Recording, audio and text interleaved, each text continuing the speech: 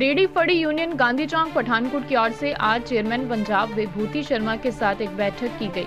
उनकी ओर से उनको बताया गया कि नगर निगम के अधिकारियों की ओर से उनको तंग परेशान किया जा रहा है। इसकी वजह से उनको रोजी रोटी कमाना काफ़ी मुश्किल हो गया। इस मौके पर मीडिया को जानकारी देते हुए उन्होंने बताया कि निगम के अधिकारी बार बार उन्हें रेडियो के आगे लगी हुई तिरपाल को लेकर तंग किया जा रहा है, जो कि सरासर गलत है। इस मौके पर बोलते हुए चेयरमैन विभूति शर्मा ने निगम अधिकारियों को चेतावनी देते हुए कहा कि अगर उनकी ओर से दोबारा इन रेडियो वालों को तंग परेशान किया गया तो उनके साथ धरने पर बैठने को वे मजबूर हो जाएंगे आइए आपको दिखाते हैं पठानकोट से संवाददाता लकी सरोज की रिपोर्ट ਮੈਂ ਫੜੀ ਯੂਨੀਅਨ ਦਾ ਪ੍ਰਧਾਨ ਹਾਂ ਜੀ ਅੱਜ ਰੇਲਵੇ ਰੋਡ ਦੇ ਉੱਤੇ ਜਿਹੜੀਆਂ ਫੜੀਆਂ ਲੱਗਦੀਆਂ ਦੋ ਦੋ ਤਿੰਨ ਤਿੰਨ ਫੁੱਟ ਦੇ ਵਿੱਚ ਔਰ ਇਹਨਾਂ ਨੂੰ ਪ੍ਰਸ਼ਾਸਨ ਤੰਗ ਕਰ ਰਿਹਾ ਕਿ ਜਿਹੜੀਆਂ ਇਹਨਾਂ ਦੋ ਦੋ ਫੁੱਟ ਤਿੰਨ ਤਿੰਨ ਫੁੱਟ ਦੀਆਂ ਤਰਪੈਲਾਂ ਲਾਈਆਂ ਛਾਂ ਕਰਨ ਵਾਸਤੇ ਉਹ ਪ੍ਰਸ਼ਾਸਨ ਰੋਕਦਾ ਪਿਆ।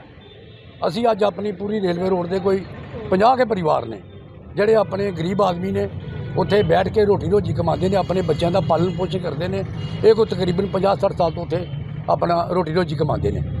ਤੇ ਅਸੀਂ ਅੱਜ ਬਭੂਤੀ ਸ਼ਰਮਾ ਜੀ, ਹਲਕਾ ਇੰਚਾਰਜ ਕੋ ਆਏ ਆ ਇਹਨਾਂ ਦੀ ਮੰਗ ਲੈ ਕੇ, ਅਸੀਂ ਇਹਨਾਂ ਅੱਗੇ ਮੰਗ ਕਰਨੇ ਆ ਕਿ ਆਪਣੀ ਸਰਕਾਰ ਅੱਗੇ ਇਹ ਸਾਡਾ ਜਿਹੜਾ ਦੁਖੜਾ ਰੱਖੋ ਤੇ ਸਾਡੇ ਪਿੱਛੋਂ ਇਹ ਜਿਹੜਾ ਪ੍ਰਸ਼ਾਸਨ ਗਰੀਬਾਂ ਦੇ ਮਗਰ ਪਿਆ ਦਾ, ਰੋਟੀ ਰੋਜੀ ਨਹੀਂ ਕਮਾ ਦਿੰਦਾ ਇਹਨਾਂ ਨੂੰ ਰੋਕਿਆ ਜਾ ਸਕੇ। ਇਹ ਸਾਡੀ ਬੇਨਤੀ ਹੈ। ਪਰੇਸ਼ਾਨੀਆਂ ਕੀ ਕੀ ਆ ਰਹੀਆਂ ਉੱਥੇ?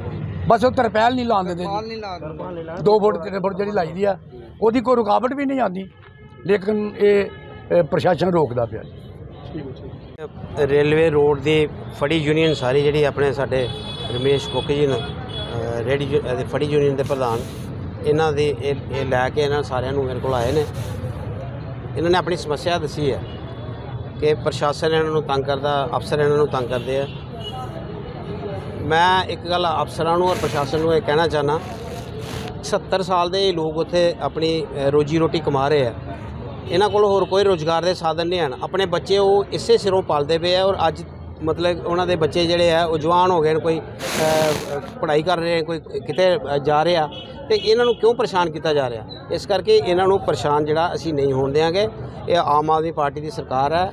ਗਰੀਬ ਲੋਕਾਂ ਦੀ ਸਰਕਾਰ ਹੈ, ਇਹਨਾਂ ਲੋਕਾਂ ਨੇ ਸਾਨੂੰ ਚੁਣਿਆ ਹੈ। ਇਹਨਾਂ ਲੋਕਾਂ ਨੇ ਹੀ ਪੰਜਾਬ ਦੇ ਵਿੱਚ ਆਮ ਆਦਮੀ ਪਾਰਟੀ ਦੀ ਸਰਕਾਰ ਬਣਾਈ ਹੈ। ਔਰ ਅਗਰ ਇਹ ਪਰੇਸ਼ਾਨ ਹੋਣਗੇ, ਤੇ ਸਭ ਤੋਂ ਪਹਿਲਾਂ ਉਹ ਪਰੇਸ਼ਾਨੀ ਸਾਡੇ ਤੇ ਆਏਗੀ ਔਰ ਅਸੀਂ ਪਰੇਸ਼ਾਨ ਹੋਵਾਂਗੇ।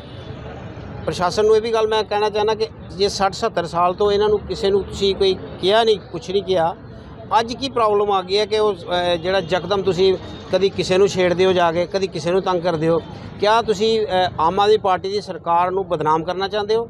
ਜਾਂ ਤੁਹਾਡੇ ਮਨ ਦੇ ਵਿੱਚ ਕੋਈ ਦੂਜੀ ਪਾਰਟੀਆਂ ਦੇ ਲੋਕਾਂ ਦਾ ਪ੍ਰੈਸ਼ਰ ਹੈ ਕਿ ਤੁਸੀਂ ਜਾ ਕੇ ਲੋਕਾਂ ਨੂੰ ਤੰਗ ਕਰੋ ਪਰੇਸ਼ਾਨ ਕਰੋ ਤਾਂ ਕਿ ਲੋਕ ਫਿਰ ਜਿਹੜੇ ਆ ਉਹ ਆਮ ਆਦਮੀ ਪਾਰਟੀ ਨੂੰ ਗਾਲਾਂ ਕੱਢਣ?